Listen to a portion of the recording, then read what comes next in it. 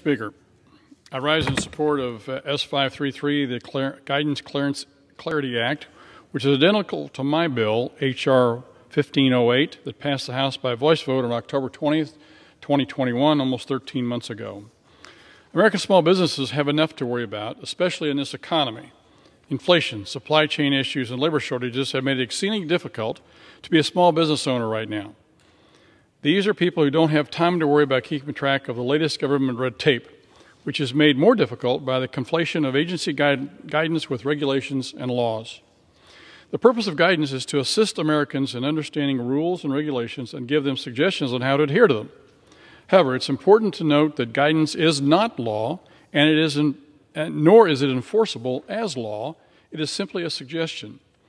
Guidance is not approved by Congress, nor does it go through the federal rulemaking process, which allows for public input and legal scrutiny of agency actions. Therefore, citizens are free to take the suggestion or completely ignore it. Unfortunately, over the years, regulators have threatened punitive action against businesses for not following guidance. It's not talking, I'm not talking about people breaking the law or ignoring federal regulations who should certainly face consequences. I'm talking about small businesses who are following the federal regulations but simply are not doing it in the manner certain regulators would prefer, the way their guidance suggested regulations be implemented. This is unacceptable, and it is illegal.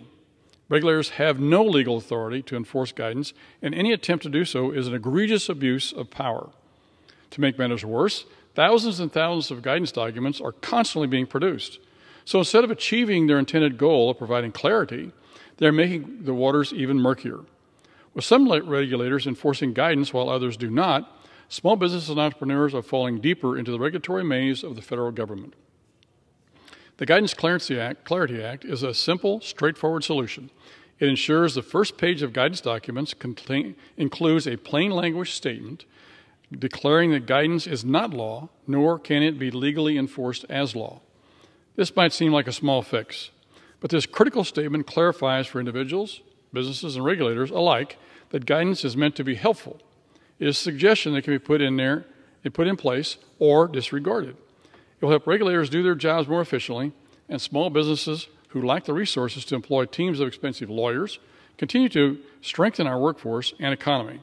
I thank Chairman Maloney and Ranking Member Comer for bringing the Guidance Clarity Act to the floor. Also thank Senator Lankford for getting the bill across the finish line in the Senate. This is a common sense solution that will help American small business owners who are the drivers of our economy and embodiment of the American dream do what they do best. With that, Mr. Speaker, I encourage my colleagues to vote in favor of the Guidance Clarity Act and yield the balance of my time.